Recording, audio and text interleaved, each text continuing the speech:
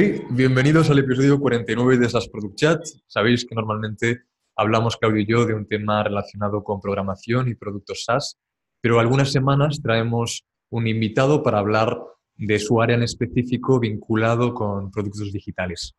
Pues bien, hemos pensado que para hablar de diseño de producto vendría muy bien hablar con alguien que ha estado en Frog Design, en Leica Cámara, en Microsoft, entre otros, ¿no? Y esta persona es Miguel Oliva Márquez, que nos da mucho gusto tener en el show y que saludo ya mismo. Bienvenidos a escuchar, Miguel.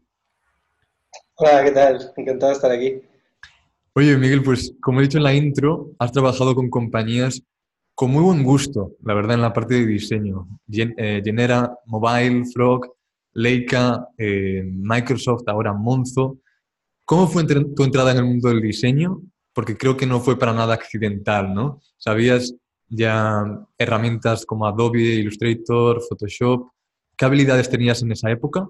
¿Y cómo evolucionas, cómo evoluciona tu carrera hasta tu puesto de diseñador de experiencia eh, de usuario senior en, Microsoft? Sí, em, pues curiosamente yo vengo del método más tradicional, que es la imprenta. O sea, yo eh, soy un apasionado del manga y de los cómics y desde pequeñito eh, colecciono cómics, o sea, tengo unas estanterías llenas de cómics, los dibujaba y lo que quería hacer realmente cuando creciera era ser ilustrador de, videojuegos, de Final Fantasy y tal. Eh, curiosamente, a partir de eso, mi primer trabajo, que fue en General Mobile, como tú has dicho, fue haciendo libros interactivos para niños. Mm. Entonces, le ayudaba un poquito a recortar las ilustraciones, les ayudaba como a montar la aplicación, tenían un engine, un motor de gráfico para construir los libros. Y a partir de ahí fue cuando, como mi primer contacto con diseñar aplicaciones. Eh, tanto fue así que de hecho terminé ayudando a diseñar la aplicación que tenía todos los libros, ¿no? Y fue cuando realmente me empecé a interesar muchísimo por, el iPad. Fue la época además que muchos de nosotros recordamos era cuando hacías tus cositas así con madera, con, con el Stitch Leather, ¿no? era, era genial. O sea, el, el craft que había que tener para hacer cada una de estas aplicaciones era increíble. Eh, de ahí tuve un momento de inflexión que fue cuando dije, realmente me quiero dedicar a diseñar apps, que fue cuando a la vez que lanzó Windows Phone 8, no, Windows Phone 7, Manco. Eh, genera como me puse un poco en contacto y eh, con Microsoft y me pidieron que les ayudara a diseñar una aplicación para, para Windows Phone. Me quedé enamoradísimo del sistema, del diseño limpio de Metro, de, de, todo lo que habían montado ahí, y me parecía muchísimo mejor que lo que había hecho Apple. y, y empecé a dedicarme únicamente a diseñar apps.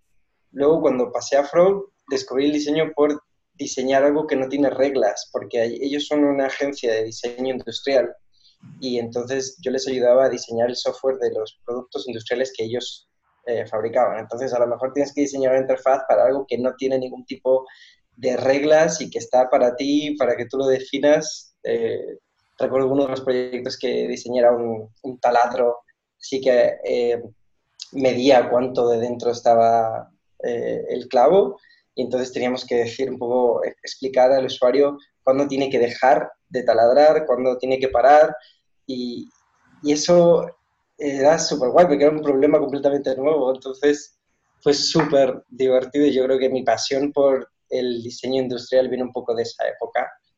Eh, en ese punto ha sido como cada paso. ¿Eras freelance ya, Miguel, en ese punto de Frog? Eh, yo solo llevo siendo freelance un par de años. en ese momento todavía sigue siendo... Eh, de hecho, yo diría que en ese momento era bastante junior y lo único que quería era trabajar con cuantos más equipos y empresas distintas posibles para aprender de cada uno. Y, y, después de Frog viene ya eh, Microsoft como... Sí, justo tú, tuve un momento en el que pensé que iba a trabajar en en diseñar las interfaces para productos industriales toda mi vida porque me encantaba y no me replanteaba el volver a diseñar apps, por lo menos no, no estaban las cartas. Y tuve un, otro punto de inflexión en el que pues tuve un proceso de selección con Apple y demás, y entonces ya como que me estaba poniendo en la mente de volver a trabajar en plataformas móviles. Finalmente eso no ocurrió, pero donde se cierra una puerta se abre una ventana y empecé a trabajar con Microsoft, con Skype, que además una de las cosas que yo pensaba en esa época y que sigo pensando hoy es, cuando trabajas con una empresa tiene que ser una que los valores que tienen sean los mismos que los tuyos, o sean valores que tú te sientas cómodo. Eh, entonces, una de las cosas que más me gustaba de Skype era que yo, pues obviamente viviendo en Múnich, eh, podía tener conversaciones con mi familia o con mi pareja y tal. Entonces me parecía que a través de Skype, me parecía que Skype era una marca que representaba cosas muy positivas para mí. Y fue la decisión de decir, bueno, pues voy a volver a diseñar apps, voy a entrar para diseñar eh, las aplicaciones de escritorio, de desktop, y, y, y, fue como el momento de decir, vale, eh, aquí es donde voy a aprender de verdad. Y en, una cosa, en Skype tú diseñaste la versión eh, para Windows 10, ¿verdad? Sí, tuve, tuve el, placer de diseñar, eh, digamos, partes de la aplicación de Windows Classic, o digamos Skype para Windows en eh, la versión que todos conocíamos en Windows. Eh, diseñé partes de la aplicación de Mac, pero tuve un trocito de un proyecto en el cual mi manager me pidió que, diseñara, que el equipo, digamos, diseñase una versión para Windows 10. Esta versión de Windows 10 era cambiar todo el paradigma de Skype para convertirla en Universal Windows Platform que fue súper divertido, pero hiper frenético. Tuvimos solo un par de meses, o así, fuimos a Redmond, eh, diseñame esto sin hacerme en diseños, hicimos de hecho un pequeño sistema en el cual definir reglas para los programadores y en lugar de hacer diseños por completo, simplemente podía ponernos en una pizarra y decir, vamos a tener un avatar S con un espacio, un padding M, y una tipografía tal y tal. Y entonces, simplemente haciendo esquemas, podíamos construir la interfaz de la aplicación. Esta aplicación muy mala, tuvo muy buenos reviews, pero por muy mala suerte tuvieron un cambio de directivo y mm. reemplazaron esa versión de Skype por el rediseño este blanco y negro que intentaba copiar algunas ideas de Snapchat. Así que duró poco. Ya. Y, y, después de, de, Microsoft, Em, o sea, esa es tu primera etapa en Microsoft, porque luego eh, te pasas a Leica, ¿verdad? O sea, antes de tu última etapa en Microsoft tienes esa, ese periodo en Leica donde también trabajas de freelance. Sí, justo después de Skype fue el momento en el que mm, mi pareja y yo decidimos irnos a viajar alrededor del mundo, que llevamos haciéndolo ya tres años. Y precisamente en ese momento es cuando digo, bueno, pues si voy a viajar por ahí necesito hacerme freelance, mm. porque no sé qué clientes voy a tener.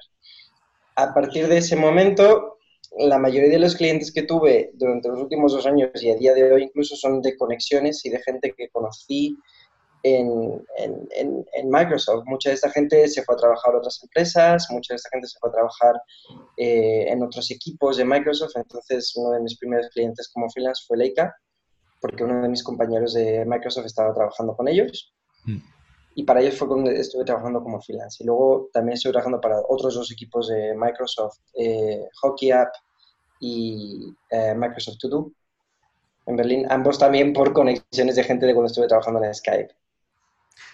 A mí me interesa mucho conocer, Miguel, eh, qué tipos de proyectos aceptas más y qué te interesa más que nada. Es decir, desarrollo de marca fuera del equipo, diseño de producto y diseño visual como parte del equipo. Me comentabas antes de, del chat que te gusta solamente eh, trabajar con un proyecto eh, durante esa etapa que trabajas con esa empresa.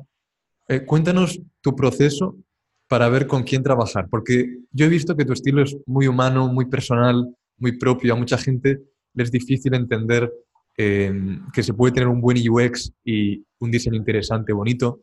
Todas las compañías para las que has trabajado son bastante fuertes en contexto de diseño y le dan mucha importancia a, la experiencia, tanto online como offline.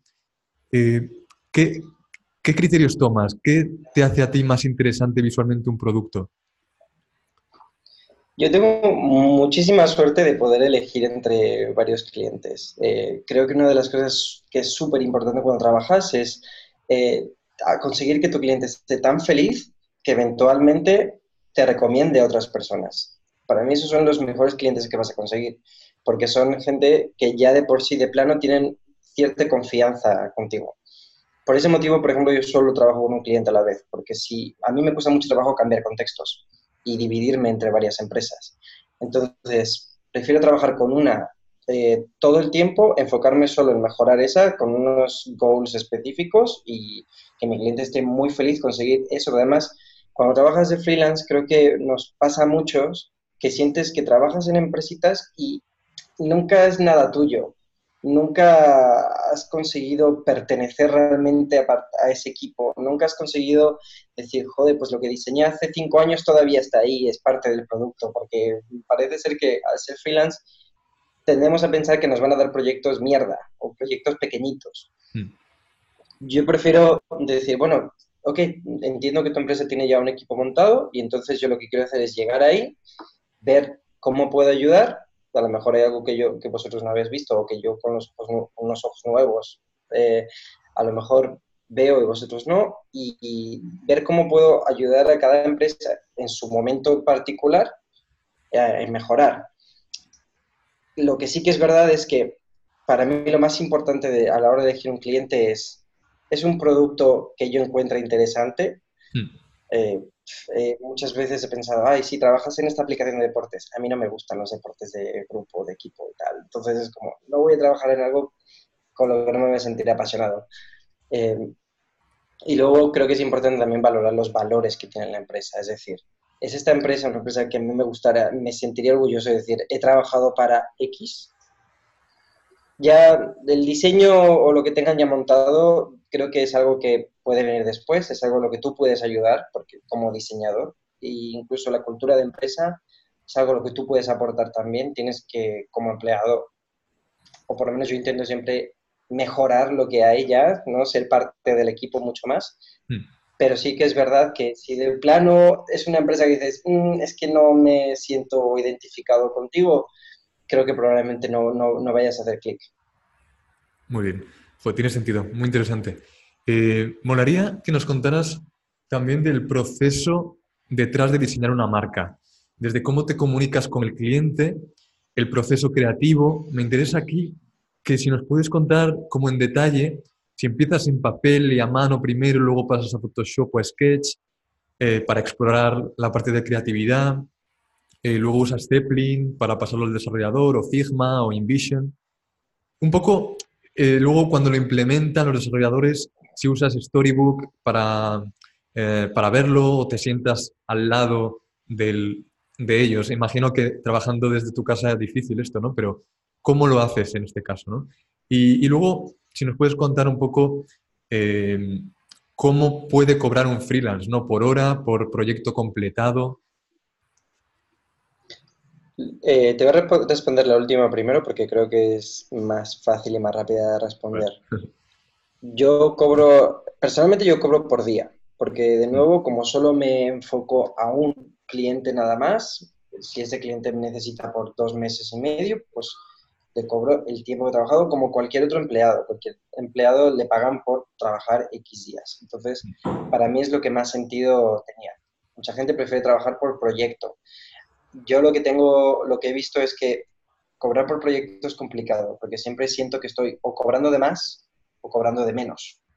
Muchos proyectos se alargan y muchos otros no se alargan y siento que a lo mejor yo le metí más budget del que realmente necesitaba. Entonces, para mí el cobrar día a día es lo que me parece más sensato o más sencillo, eh, porque hay muchos factores que entran a la hora de cobrar o a la hora de tener un, proyecto eh, que tú no puedes controlar. Entonces, ahí, ahí creo yo que si yo he trabajado seis días para diseñar X cosa, lo más normal es que yo te cobre por ese tiempo que he usado. Eh, entiendo que esto no funciona igual para todas las agencias y, tal, no es un modelo escalable, pero es el que yo he encontrado mucho más sencillo de manejar. A la hora de diseñar y crear una marca de cualquier interfaz, una de las cosas que yo veo muchísimo a la hora de trabajar con programadores, con product managers, incluso con otros diseñadores, es pensamos mucho en la eficacia, pensamos mucho en las métricas, pensamos mucho en tal, pero muchas veces nos falla el pensar, joder, ¿qué es lo que queremos que el usuario sienta en este momento? Cuando usa nuestra aplicación, cuando tiene un error. Cada vez que diseño una pantalla y demás, yo siempre lo primero que hago es poner una lista de adjetivos. Y esta lista de adjetivos son cosas que el usuario debería de poder definir nuestra aplicación o nuestra marca con ello. Cada, cada empresa y cada aplicación tiene obviamente su lista de adjetivos que, que se asigna, ¿no? Es decir, puedes decir que a lo mejor que Apple es mucho más sofisticado, ¿no? O fácil, eh, quizás moderno, sin embargo, con Google, por ejemplo, tendrías algo un poco más como en todos lados, accesible. Ah, podrías tener algo que fuese un poco, quizás un poco más geek, por la parte de que puedes modificar todas las cosas. Entonces, cada marca tiene obviamente eh, su posicionamiento en el mercado, pero eso también se puede aplicar a una interfaz. Si estoy haciendo una app, ¿qué parte, en este, en este flow, en esta parte de la aplicación, el usuario está, por ejemplo, digamos, está navegando en el home y a lo mejor lo que queremos es que se sienta feliz. O a lo mejor lo que queremos es que cuando tenga un error, que no se sienta triste, pero que se sienta alerta, porque a lo mejor es un error antes de hacer un pago. Para mí eso me ayuda muchísimo a la hora de pensar qué cosas necesito poner. Y la segunda es escribir una, la historia de la, de la, del flow o de la aplicación en sí. Es decir, estoy desarrollando un proceso de compra. Normalmente en mi libreta mismo tengo un montón de, páginas. La gente cuando coge mi libreta piensa que debería de ser todo garabatos. Y de hecho tengo muchísimo texto de historias que voy escribiendo. De, en este proceso el usuario debería estar súper contento porque acaba de ordenar una pizza. Y debería estar ansioso, de hecho. Deberíamos de hacer el, que el diseño le haga sentir que quiere ya esta pizza y que, que sabe además en qué momento va a llegar. Vale.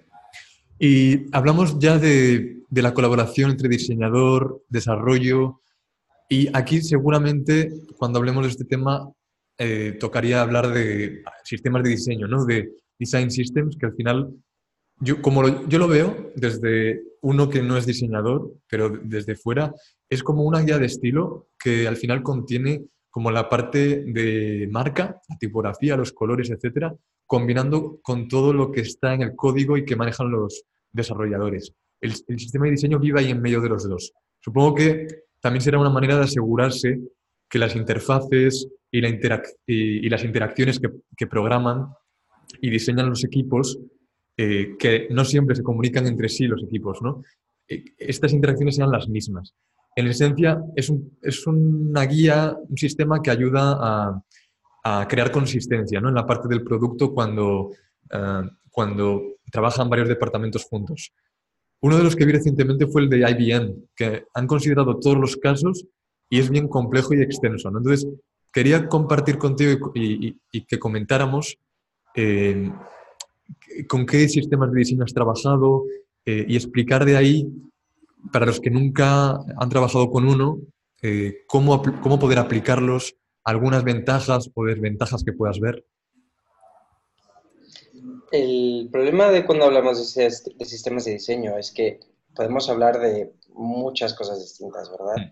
Eh, ante, anteriormente pensábamos que era una guía de estilos y recientemente cuando pensamos en sistemas de diseño pensamos en un archivo de sketch perfectamente con, eso es una palabra, compartimentalizado, eh, como, con muchísimos módulos, con muchísimas posibilidades de mm, mezclar cada uno de los componentes y conseguir todo, pero con todos los componentes definidos de plano.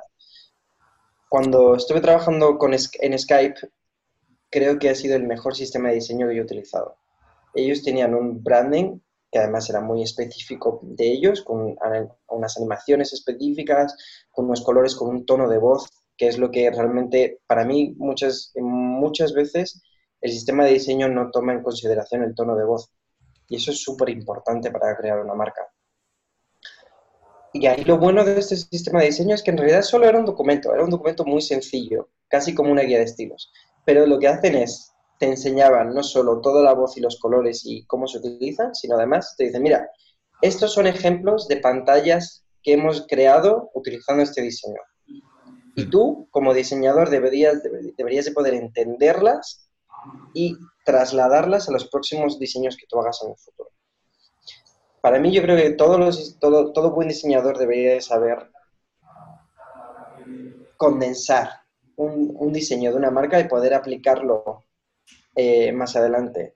Ahora mismo, por ejemplo, en Monzo, eh, ellos tienen un sistema con una biblioteca súper extensa con muchos componentes que puedes utilizar. Es muy útil el sentido de que cuando yo estoy diseñando una aplicación, básicamente solo tengo que coger de aquí a aquí a aquí y son componentes que los programadores van a tener ya directamente. Mm. Pero no es muy flexible a la hora de diseñar. Muchas veces tenemos que diseñar cosas que no están dentro de este sistema. Siempre y cuando los diseñadores y los product managers y los developers tengan claro que no se puede construir toda la interfaz con X cantidad de componentes, yo creo que el sistema de diseño es exitoso porque necesita ser suficientemente flexible. Pero eh, está ahí simplemente para ahorrarnos tiempo.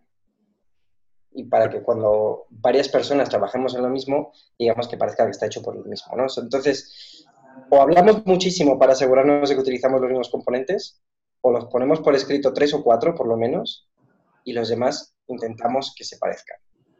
Vale, me queda claro. Em, vamos a hablar un poco de dónde encuentras inspiración, Miguel, porque eh, la colaboración con todo este tipo de compañías, pues al final tiene un...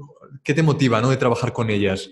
Eh, ¿Qué es lo que te ayuda a mantenerte creativo? ¿no? Leí una entrevista donde mencionabas que tu mejor lugar para trabajar era un Starbucks, ¿no? cuando estabas en remoto, porque los encontrabas como muy parecidos en todo el mundo y, y no había nada inesperado que te hiciera distraerte, ¿no? Supongo, supongo que tienes que ser muy organizado y ser muy bueno con los hábitos, pero ¿dónde encuentra eh, Miguel la inspiración y, qué haces para no parar de ser creativo, no parar de aprender? Justo, es curioso porque justo hoy eh, me, he he descargado una cosa que se llama el Great Bundle, no sé qué, es como una, eh, una cantidad de recursos de diseño solo para ver cómo estaban hechos.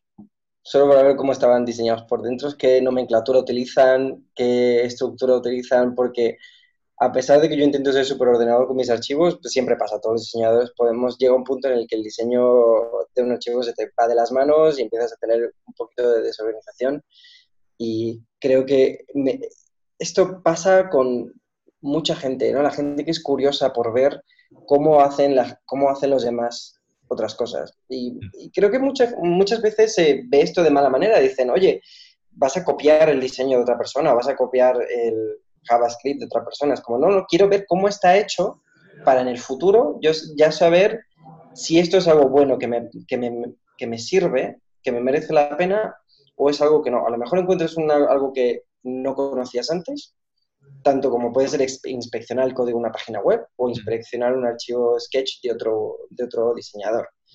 Para mí, Starbucks, yo lo odiaba antes de empezar a viajar, pero la verdad es que es increíble porque es como, están todos decorados de una manera que dices, es que da igual que esté en medio de China, mm. que siento que de repente no hay nada que me llame la atención.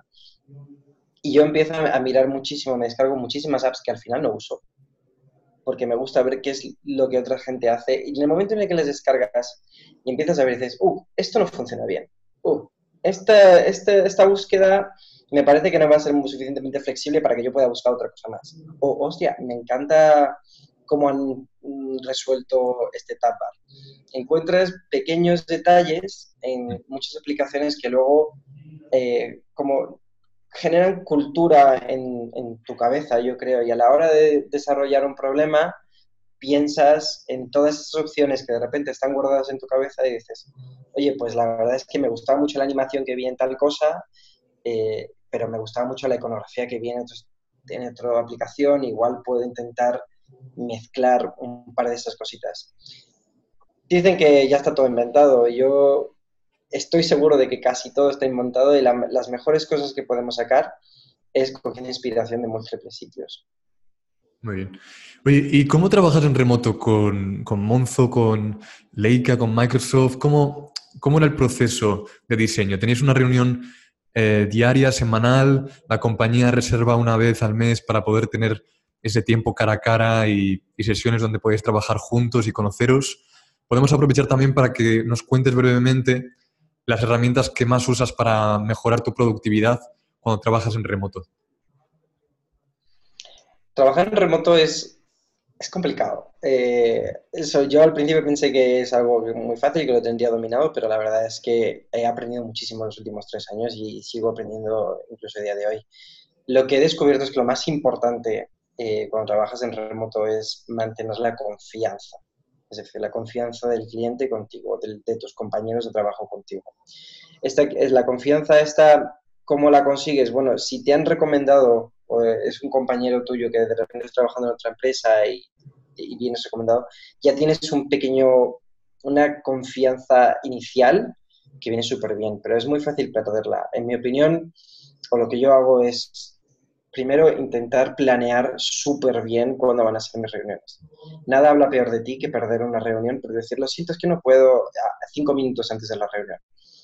Entonces, cuando yo estaba viajando, por ejemplo, mientras era remoto, me aseguraba que los sitios en los que yo iba a estar encajaban bien con las reuniones que tenía que tener con mis clientes, tanto con Leica como con App. Dependiendo de qué empresa, algunos, por ejemplo, me pedían, eh, digamos, hacer un check-in mucho más eh, a menudo mm. que otros. Te pongo un ejemplo. Con Monzo y con, y con Hockey App yo tenía un buddy, un compañero, mm. con el cual yo hablaba todos los días.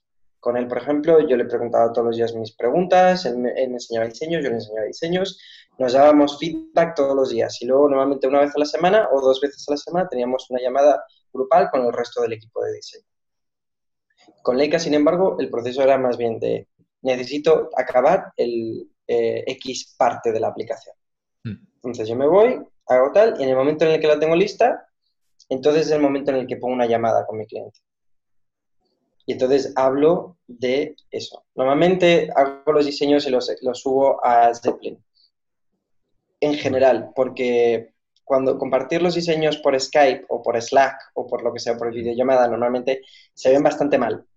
Aunque tú creas que tienes una conexión estupenda, se ven bastante mal. Entonces, casi, que es, casi prefiero que el cliente lo tenga realmente en su pantalla o hacer, si hago un prototipo, pues obviamente mandárselo, pero eh, si no, estoy hablando solo de pantallas, prefiero subirlo a Zeppelin y decirle, bueno, vamos a la pantalla número 103, porque normalmente hace que el diseño, las tipografías pequeñas, hay, hay muchos pequeños detalles en los iconos que no se llegan a apreciar en una videollamada. Muy bueno. Oye, y para acabar ya, Miguel, ¿en qué estás enfocado ahora en Monzo? ¿Estás en web puntualmente, en mobile, experimentos para mejorar métricas puntuales? En Monzo estoy haciendo una cosa súper interesante, que es conseguir usuarios, eh, el equipo se llama Growth, y mm. es como conseguir que nuestros usuarios cuando eh, entren a Monzo, uno, se sientan mucho más felices, se encuentren las cosas un poquito mejor, y luego además que consigan ser unos usuarios eh, que utilizan todas las features de Monzo, o digamos que sacan partido a todas las features de Monzo. Monzo tiene muchas cosas muy buenas, pero a lo mejor no las esperas y mucha gente no sabe de ellas. a lo mejor están escondidas, porque a lo mejor no hablamos bien de ellas o porque a lo mejor simplemente no, no las hemos mostrado en el momento adecuado. Entonces, lo que yo estoy intentando es conectar los puntos y hacer que la gente encuentre lo que más necesita para que cuando te digan, oye, ¿sabías que puedes pagar a tus amigos con Monzo y tal? Y te digan, ah, pues no lo sabía. No, no, o sea, sí lo sabías porque te lo hemos mostrado en el momento pertinente. Entonces, conseguimos unos usuarios un poquito más eh, engaged. Hmm. Ay, a veces, a veces hay un montón de palabras en, en inglés como de, que aprendí diseñando y hablando inglés que no sí, puede traducirse. Oye, pues Miguel, muchas gracias. Hemos aprendido mucho sobre herramientas, procesos, cómo trabajar en equipos remotos, sistemas de diseño. Muchas cosas yo creo que para digerir y para que los, sobre todo la gente que nos ve en SAS, Product Chat en Software Guru y, en audio que, le gustan mucho estos temas, ¿no? Y a veces no se profundizan demasiado, sobre todo a nivel hispano, eh, tenemos poco contenido. Entonces, muchas gracias por sumarte. ¿Dónde te pueden encontrar eh, los que quieran ponerse en contacto contigo o trabajar contigo? Eh, bueno, tengo mi página web que es miguelolivamarquez.com. obviamente ahí tengo un email y puedes ver un poquito del trabajo que he hecho creo que es la mejor manera, si no en Twitter obviamente ahí siempre contesto, eh, estoy intentando ser un poquito más activo últimamente porque durante los viajes eh, ha habido momentos en los que lo he dejado un poquito más de lado. Hay una cosita más que me gustaría mencionar y es que para cualquiera que quiera irse a, viajar por ahí o, a intentar ser un poco el nómada freelance, hay un truquito que descubrí eh, que la verdad es que a mí me ha funcionado súper bien y es manda un email todos los días a tu equipo o a tu cliente con lo que has hecho. Hmm. Muchas veces cuando se trabaja en diseño o en programación, hay veces que tardas un día y no consigues mm, no consigues acabar lo que querías hacer. Y parece que mm, nos da un poco de vergüenza contarle a nuestro jefe, oye, pues mira, no he conseguido hoy hacer X cosa. Pero si le mandamos un email todos los días asegurándonos de que ellos sepan qué es lo que estás haciendo, porque no estás allí, ellos no te están viendo trabajar. Y es importante que ellos sepan todos los días qué es lo que has conseguido. Pues muy bien. Es otro consejo para mantener la confianza, ¿no? También entra dentro de este bloque. Exactamente. Muy bien, Miguel. Muchas gracias. Que te vaya bien el día y nos volvemos a ver. Nada, igualmente. Muchísimas gracias. Venga, hasta luego. Hasta la semana que viene a todos. Chao.